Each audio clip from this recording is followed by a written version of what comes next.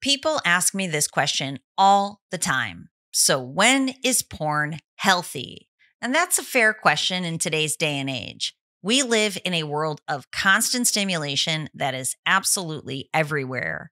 So I can see how it can be difficult for people to understand, perhaps, you know, that this answer isn't black and white, but it is not hard to see the answer is neurological. This video is brought to you by my HarperCollins published book, Mind Over Explicit Matter. If you're ready to quit porn and reclaim your life mentally and physically, go over to drtrishleigh.com backslash book. Today, we are diving into the neuroscience behind arousal and how stimulation can either support healthy connection or hijack your wiring entirely. I am Dr. Trish Leigh. Let's dive in. So, your brain is built to respond to intrigue. It's how we learn, it's how we evolve. Each time you see something new or even something exciting, your brain releases dopamine. It's the chemical of motivation and, importantly, of pursuit. Dopamine, in and of itself, isn't bad. It's absolutely essential. It pushes us toward our goals, our relationships, creativity, and healthy intimacy. But the system was designed for this effort followed by reward. So ask yourself this question When you're watching porn, what effort are you actually putting in? You're not pursuing connection. You're not earning intimacy with another human being. You're not risking rejection. You're simply pressing an easy button. One click, instant artificially high levels of dopamine, you guessed it, linked to the unreality of porn. And that right there, my friend, is the problem. Your brain's reward system was built to link pleasure to effort, to the journey, not just to the outcome. So when you remove the work, the waiting, the uncertainty, you strip the system of what makes satisfaction last. Digital stimulation gives you the illusion of achievement without any of the neurological benefits of real connection. Now, I see this in QEEG brain maps every single week. The shift is clear. The reward centers, they light up. High beta activity in the limbic system, while the prefrontal cortex, captain of the ship, that's in charge of executive control, judgment, impulse control, self regulation that leads a person to be able to control their own behaviors while maintaining connection, well, it goes dark. So read this no control, no connection. So it's like you're feeding your brain junk food. It's quick, it's easy, it's engineered to taste amazing, but it's empty. There's no nourishment. There's no depth, there's no balance. The Hubs keeps talking about NDF, nutritionally deficient food. So I want you to think of explicit matter as nutritionally deficient content. The more you consume it, the more your brain adjusts. The dopamine receptors, they dull. Your sensitivity drops, and the parts of your brain that are built for focus and connection, they grow weaker every time. So now you need more intensity. You need more salt. You need more sugar. You need more stimulation just to feel normal. And just like junk food leaves your body craving nutrients, overstimulation leaves your brain starving for real connection. That's the tipping point when stimulation stops being healthy and it starts being compulsive. So, what does healthy look like neurologically?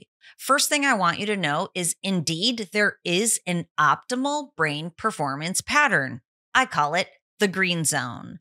The green zone is what leads you to feel calm, focused, confident, creating the direction in your own life. It's amazing. It's about balance that allows you to show up each and every day to achieve the state that you want when you want to achieve it. That means when you want or you need to be able to get into a certain state. It leads to calm focus throughout your days, restful and restorative sleep at night, and yes, healthy sexual arousal when you and your honey choose to be together. It leads to pleasure, happiness, and connection. A little thing I like to call joy, my friend. So, healthy brain function is not about never feeling arousal. It's about how you go about getting there. Healthy stimulation is contextual. It includes real connection. It includes emotion. It includes choice. Your brain's reward system and the prefrontal cortex, they stay in sync. They're working and they're connecting the way that they work together.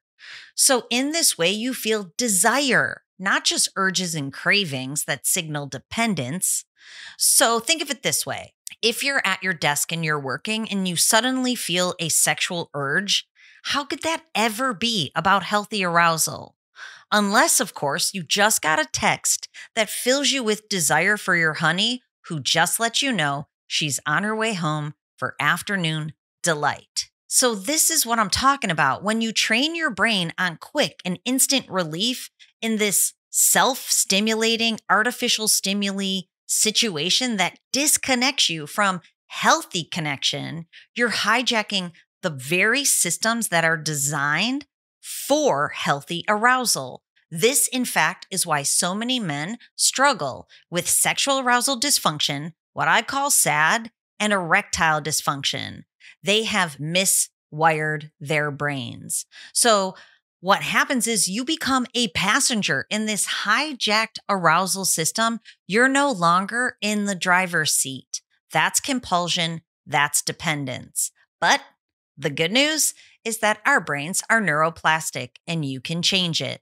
When you get into the real world and you make conversation and you have eye contact and you feel desire at a touch, you're teaching your brain to reconnect instead of to consume. So if you're stuck in this porn addiction loop, I want you to know you can break free. You can re achieve healthy sexual arousal and rewire that reward system back to the green zone because healthy stimulation, it's not about elimination per se of arousal, it's about regulation. So, when does porn become healthy? It's healthy when it doesn't hijack your brain and it doesn't threaten your real life thinking and feeling. When your brain's reward system belongs to you, which unfortunately is basically never in this situation because we know that porn consumption leads to the silent tsunami. It cracks the foundation of your brain's regulation and it leads to the downward spiral of the negative feedback loop that will inevitably lead you into compulsion. So if you want to break free, please go over to drtrishleigh.com and check out brain mapping and neurofeedback with protocols that I specifically have designed after working with tens of thousands of men who struggle with hypersexuality and with sexual arousal dysfunction. Your brain can be rewired back. That miswiring can be a thing of the past. Okay, until next time, control your brain, or it will in fact control you. I'll see you then.